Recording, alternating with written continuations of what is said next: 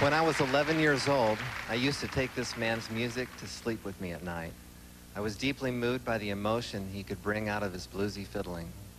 In his lifetime, he became the most respected and admired fiddler in the world. Here he is, Vassar Clements.